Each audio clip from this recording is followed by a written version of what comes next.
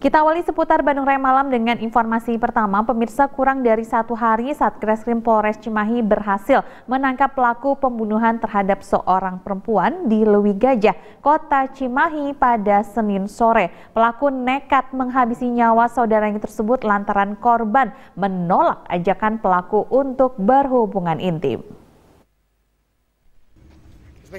Dengan wajah tertunduk lesu, pelaku pembunuhan terhadap seorang perempuan berinisial NN yang terjadi di Lewi Gajah, Kota Cimahi, digiring oleh petugas Satreskrim Polres Cimahi pada Senin sore.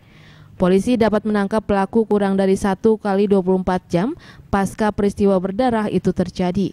Dari hasil penyelidikan, pelaku berinisial RW ini tega menghabisi nyawa korban lantaran ajakan pelaku untuk berhubungan badan ditolak oleh korban. Pelaku yang merasa kesal langsung menghampiri korban yang bersembunyi di kamar mandi. Karena kehabisan tenaga, pelaku terlebih dahulu memukul pelipis korban hingga terjatuh. Tak hanya itu saja, pelaku RW pula menyayat tangan dan leher korban dengan pisau hingga tewas seketika. Setelah kejadian tersebut, tersangka melakukan serangkaian alibi untuk menghindari kejadian tersebut.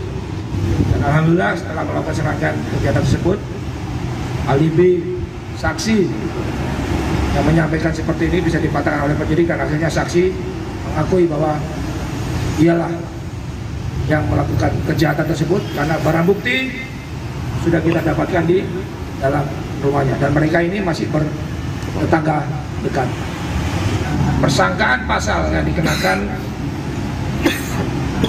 338 KUHP dan atau 340 KUHP dengan ancaman minimal 15 tahun atau maksimal seumur hidup atau hukuman dari tangan pelaku, polisi menyita barang bukti berupa pisau dapur dan pakaian korban. Pelaku yang merupakan saudaranya korban ini terancam hukuman maksimal seumur hidup. Diberitakan sebelumnya warga gang kontrakan Lui Gajah, Kota Cimahi, digegerkan dengan tewasnya ibu muda beranak satu di kediamannya pada minggu sore. Algi Muhammad Gifari, Bandung TV.